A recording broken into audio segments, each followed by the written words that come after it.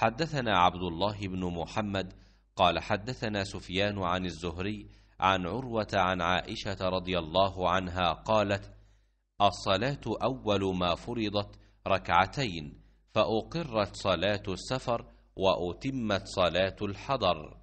قال الزهري فقلت لعروة ما بال عائشة تتم؟